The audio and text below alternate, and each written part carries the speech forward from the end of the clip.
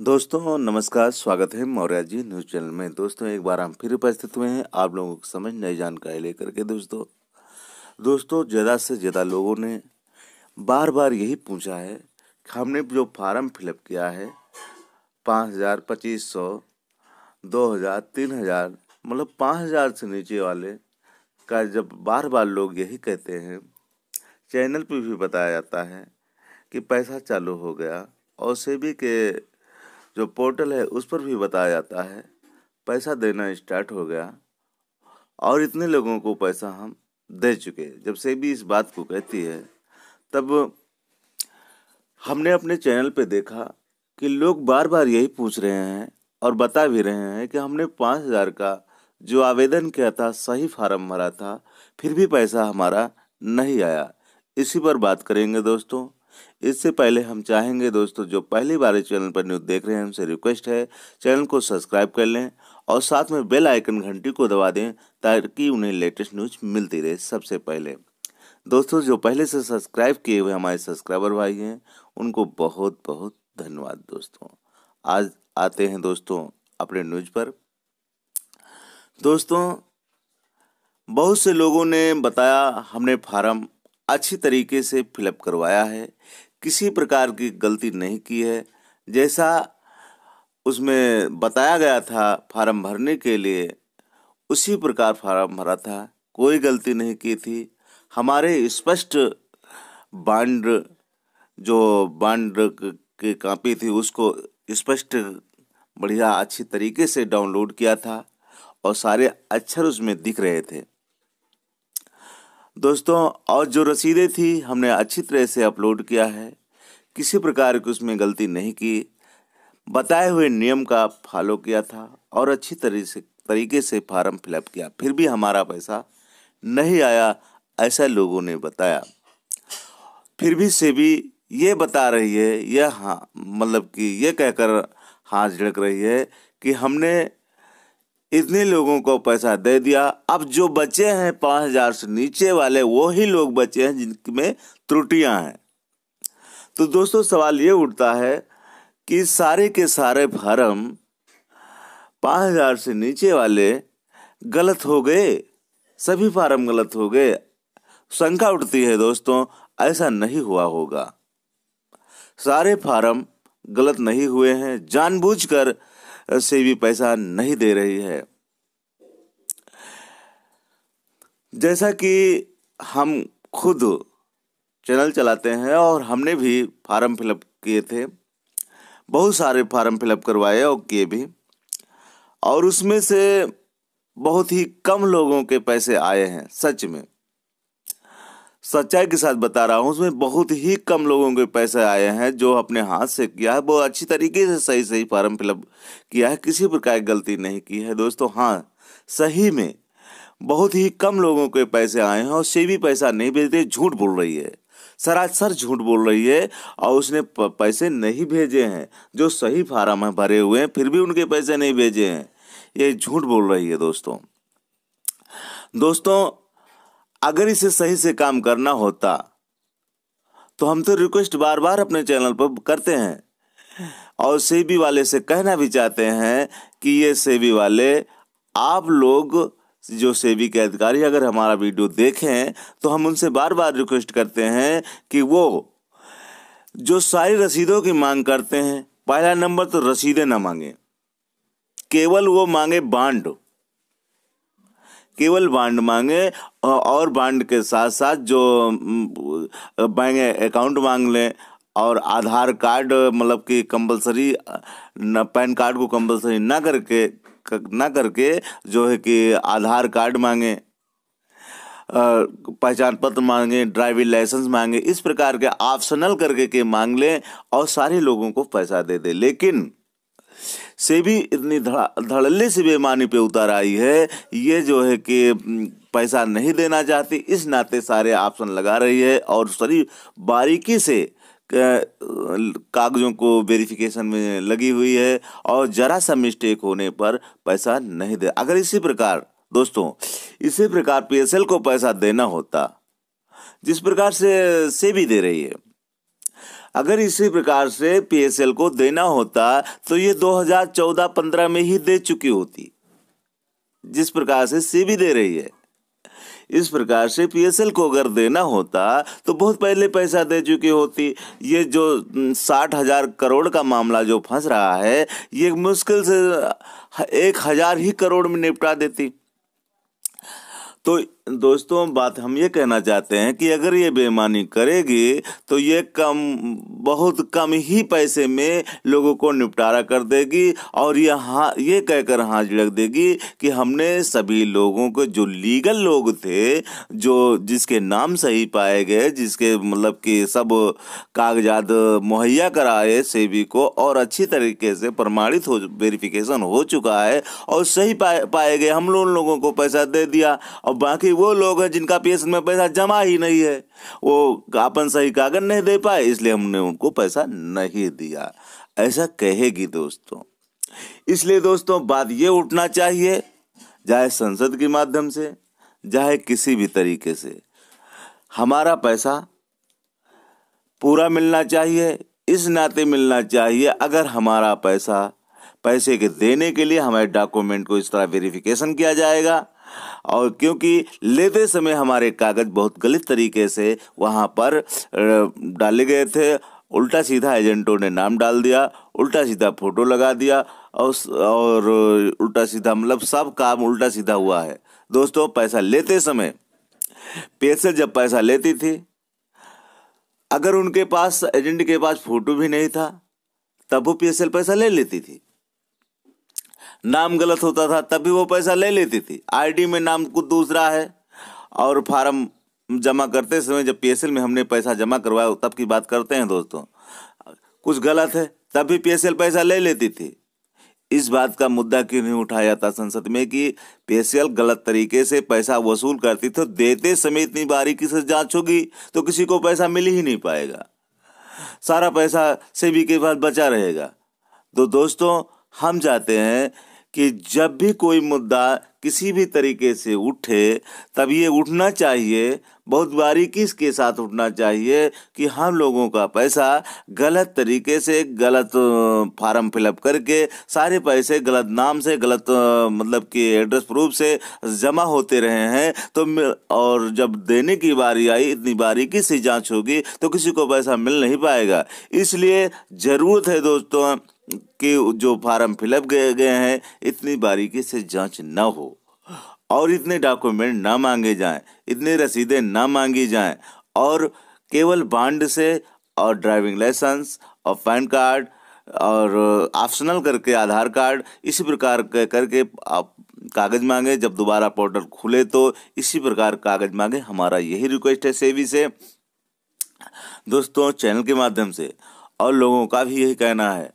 दोस्तों, अगर ऐसा हो जाए तो कितना अच्छा रहेगा दोस्तों। दोस्तों, हम बार बार ही अपील करते हैं उन लोगों से जो प्रोटेस्ट करते हैं, जो जो पीएसएल का मुद्दा लेकर आगे बढ़ रहे हैं अगेंस्ट हैं, काम कर रहे हैं, उनसे भी रिक्वेस्ट करना चाहते हैं, इस बात को उठाती क्यों नहीं है? और सबसे बड़ी बात यही है और सार्वजनिक करें, प्रत्येक एप्लीकेशन जिनके पास बांड है उसका जो है कि पारदर्शिता दिखाए से भी अपने साइट पर कि प्रत्येक एप्लीकेशन प्रत्येक बांड जो लोगों के पास जमा है, सभी बांड का ओपिनियन करे कि हाँ इस एप्लीकेशन का इतना पैसा है सेवी के पास, इस एप्लीकेशन का इतना पैसा सेवी के पास है। तो इस प्रकार करना चाहिए। लोगों के पास कितनी रसीदें हैं, कितनी नहीं है, इस बात को गौर क्यों कर रही है? क्या सेबी के पास डाटा नहीं है? अगर डाटा नहीं है तो इसका भी स्पष्टीकरण दे कि हमारे पास पीएसएल का कोई डाटा नहीं है। जिस आधार पर पीएसएल के लोग हमें रसीदे, रसीदें मुहैया कराएँगे, वो सही तरीके से फार्म फिलअप पर कर, करके देंगे, तभी हम पैसा देंगे, अन्यथा हम पैसा नहीं देंगे। दोस्तों इस प्रकार से बेईमानी करेगी। अगर वो बार बार कह रही लोगों ने गलत फार्म फिलअप किया। इसलिए हम पैसा नहीं देते। दोस्तों, हम एक रिक्वेस्ट करना चाहते हैं। सरकार से भी रिक्वेस्ट करना चाहते हैं। सेबी से, लोड़ा कमेटी से, सभी लोगों से हम रिक्वेस्ट करना चाहते हैं कि जब भी फार्म फिलअप करने की बारी आए तो पोर्टल पे ना करवाए तो कुछ ऐसे लोगों को जो एक्सपर्ट हों नेट चलाने में, कंप्यूटर चलाने में एक्सपर्ट हों, ऐसे लोग जो गलतियाँ ना करें, ऐसे चुनिंदा लोगों को या तो तैयार करके जगह जगह गाँव हेलो दोस्तों, कैसे आप सभी? दोस्त, मैं हूँ आपका दोस्त राजेश कुमार मौर्य, और आप देख रहे हैं मौर्य लाइव टच तो दोस्तों, फिर से स्वागत करता हूँ आप सभी का इस नए वीडियो के साथ में। दोस्तों, आज की वीडियो बहुत ही शानदार और ज़बरदस्त होगी। क्योंकि आज की पी, आज की वीडियो में हम लोग बताएँ, हम लोग देखेंगे कि पीएसएल का पैसा जो आना शुरू हो गया, बहुत से दोस्तों को मिल चुका है। तो ये खुशखबरी मैं आप सभी लोगों के साथ बांटने वाला हूँ कि पीएसएल निवेशकों का भुगतान आना शुरू हो गया है। जी हाँ दोस्तों पीएसएल निवेशकों का भुगतान आना शुरू हो गया है। तो दोस्तों, मैं आप लोगों को पहले यह भी बता दूँ कि किन किन निवेशकों का भुगतान आएगा और कितना कितना रकम वालों का आएगा। जी हाँ दोस्तों, यही सब आप लोगों को मैं बता दूँगा। तो सबसे पहले खुशखबरी मैं ये दे दूँ आप लोग सभी को कि पीएसएल निवेशकों का भुगतान आना शुरू हो गया। जल्द से जल्द जिन निवेशकों को नहीं मालूम है कि पीएसएल का जो आवेदन आप लोगों ने पिछले बार इस बार कराया है, जिन निवेशकों ने तो उन निवेशकों का भुगतान आना शुरू हो गया। तो वे सभी लोग, उन्होंने अगर रजिस्ट्रेशन करते समय जो नंबर उन्होंने दिया है, उस नंबर को आप लोग चेक करिएगा। उस तो उसमें एक मैसेज आया होगा सेबी की तरफ़ से तो उसमें आपको दिखाया होगा कि हाँ आपके अकाउंट में पैसा ट्रांसफ़र कर दिया गया है। जी हाँ दोस्तों, कि आपके अकाउंट में पैसा ट्रांसफ़र कर दिया गया है। आप लोग बैंक में जा कर के आप अपना अकाउंट चेक कर सकते हैं। जी हाँ दोस्तों तो ये खुशखबरी मैं आप लोगों को दे रहा हूँ। तो ये है उन सभी निवेशकों का, जिन निवेशकों ने को अभी मालूम नहीं कि पीएसएल का पैसा आना शुरू हो गया है। जी हाँ दोस्तों तो मैं आप लोगों को ये भी बता दूँ कि जिनको नहीं मालूम है तो अपना जाकर चेक करेंगे। अब ये बात यहाँ पर आ रही है कि कितने रकम वालों का पेमेंट आ रहा है। जी हाँ दोस्तों, अब यहाँ पे दूसरी बात है कि मैं आप लोगों को यहाँ पर बता दूँ कि उन निवेशकों जिन निवेशकों का पाँच हज़ार से कम है या फिर पाँच हज़ार है तो सेबी अभी उन सभी पाँच हज़ार रुपया जिनका जमा है, उन सभी लोगों का पैसा रिफ़ंड कर रही है। जी हाँ जो दोस्तों, जिनका पाँच हज़ार से कम है या फिर पाँच हज़ार रकम है, उन सभी निवेशकों का भुगतान वो करना शुरू कर दिया है। तो यहाँ पर देखने को मिला है कि बहुत से दोस्तों का पैसा कट के आ रहा है, या फिर उन्होंने पाँच हज़ार जमा किया है तो वहाँ पे तीन हज़ार आ रहा है या तीन हज़ार कुछ, ऐसे कुछ करके आता है, तीन हज़ार, दो हज़ार जैसा हो। तो दोस्तों, यहाँ पर कौन कौन सी गलतियाँ हुई हैं या फिर कौन कौन सी गलतियाँ उन्होंने फार्म भरते समय हुई थी तो इन सभी कारण से आप लोगों का पैसा कम आ रहा है। जी हाँ दोस्तों तो मैं आप लोगों को थोड़ा यहाँ पर हिंट दे रहा हूँ कि किन कारणों से सभी निवेशक या फिर ज़्यादातर मैंने जिन दोस्तों का आवेदन किया फिर किया था या फिर मैंने अपना पर, पर, पर्सनल किया था या अपने घर के जो किए थे उन पे मैं जो डेटाबेस उसके अकॉर्डिंग बता रहा हूँ क्योंकि हमारे ने लगभग बीस से ज़्यादा मैंने आवेदन खुद किया था। तो बीस से ज़्यादा जो आवेदन किया था उनमें से अभी पाँच छः लोगों का आया है। पाँच छः लोगों का आया है जिनमें से बहुत से लोगों का एक यानी कि पाँच हज़ार था या फिर तीन हज़ार, जो इसी के आसपास कुछ था तो उनका लगभग जैसे एक लोग का था चार हज़ार अस्सी एक आसपास था तो उनका आया था तीन हज़ार दो सौ रुपये। जी हाँ दोस्तों, उनका तीन हज़ार दो सौ रुपये पेमेंट आया है। तो वहाँ पर मैंने गश किया है कि हम, हमने जो आवेदन किया था, वहाँ पे कुछ उनकी रसीदें फटी हुई थी या फिर कहीं कहीं पर जंग लगा हुआ था या कहीं कहीं पर ऐसा कि कुछ बहुत सारा दिख नहीं रहा था प्रॉपर तो यानी जो जो रसीदें प्रॉपर नहीं दिख रही थी, जिनका अंक भी समझ में नहीं आ रहा था, जिसमें अक्षर भी नहीं समझ में आ रहे थे कहाँ क्या लिखा है तो उसी के हिसाब से उन्होंने उन रसीदों को भी उन्होंने कैंसिल कर दिया था। जी हाँ दोस्तों तो क्या आपके पास भी ऐसी कुछ रसीदें थी जिन पे ऐसा कोई प्रॉब्लम है? तो दोस्तों, अगर आपने भी के पास भी अगर ऐसा कुछ हो सकता है तो दोस्तों घबराइए ना कि नहीं कि आपका पैसा कमा जाए। तो दोस्तों ये हो सकता है आपको बाद में दिया जा सकता है। तो दोस्तों जिन दोस्तों के पास ये समस्या आई है कि उन्होंने, उनका पाँच हज़ार है और उनका दो हज़ार, तीन हज़ार आया है। तो दोस्तों आप लोग कमेंट करके मुझे भी बताइएगा कि कितने निवेशक ऐसे हैं जिनका पैसा पूरा जमा होते हुए भी उनको कम पैसा मिला है और उनके पास पूरी रसीद होते हुए भी उनको पैसा कम मिल रहा है। तो दोस्तों, मैं आप लोगों से यही जानकारी चाहता हूँ। तो दोस्तों, ये वीडियो आप लोगों को कैसी लगी प्लीज़ मेरे कमेंट बॉक्स में ज़रूर बताइएगा और अधिक से अधिक इस वीडियो को शेयर करिएगा ताकि मैं नेक्स्ट वीडियो आप लोगों को जल्दी से लेकर आ जाऊँ। सब्सक्राइब करके रखिए मौर्य जी। दोस्तों, नमस्कार, स्वागत है मौर्य जी न्यूज़ चैनल में। दोस्तों, एक बार हम फिर उपस्थित हुए आप लोगों को समझ नई जानकारी लेकर के। दोस्तों, आज हम पीएसएल के मुद्दे पर बात करेंगे। दोस्तों, बहुत बारीकी से। आज सिस्टम कैसा काम कर रहा भारत का और कैसे लोग हैं? कैसे लोग सोचते हैं, क्या विचार है, कैसे चल रहा है। इस पर बात करेंगे दोस्तों, पैसा देने की बात जो होती है और किस तरीके से होती है, किस मुद्दों को लेकर बात किया जा रहा है। आज के सिस्टम में पैसे को लेकर के, अर्थात निवेशकों के पैसे को लेकर के क्या क्या बातें हो रही हैं, उस पर हम बात करेंगे दोस्तों। दरअसल बात पेंसिल के मुद्दा, सही सवालों से कोसों दूर है। इस पर बात होगी दोस्तों। इससे पहले हम चाहेंगे दोस्तों, जो पहले बार इस चैनल पर न्यूज़ देख रहे हैं, उनसे रिक्वेस्ट है चैनल को सब्सक्राइब कर लें और साथ में बेल आइकन घंटी को दबा दें ताकि उन्हें लेटेस्ट न्यूज़ मिलते रहे और पहले सब्सक्राइबर भाइयों को जो सब्सक्राइब किए हुए हैं, उनको बहुत बहुत धन्यवाद दोस्तों। आते हैं अपने सवालों में दोस्तों। पीएसएल का मुद्दा सवालों से कोसों दूर है दोस्तों। दरअसल हम बात ये कहना चाहते हैं, बात जहाँ पर यह हो रही है कि हमारा मुद्दा बार बार अब जो है संसदों द्वारा उठाया जा रहा है। दोस्तों, बात हो रही है, लेकिन अब ज़रूरी इस बात की है कि हमारा मुद्दा इस बात पर विशेष गौर के साथ होना चाहिए कि पी एस का जो मेचोरिटी से भी कर रही है, वो तरीका बहुत अच्छा नहीं है। बहुत लटा हुआ तरीका है, बहुत खराब तरीका है, जितनी इसकी निंदा हो सकती है, उतना ही कम है।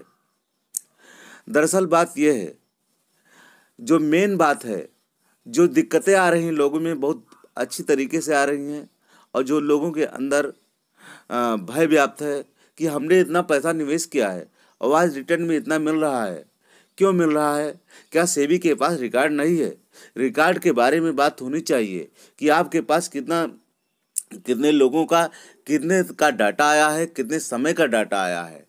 कितना, क्या सारा डाटा सेबी के पास है या नहीं है, इसका सेबी जवाब दे।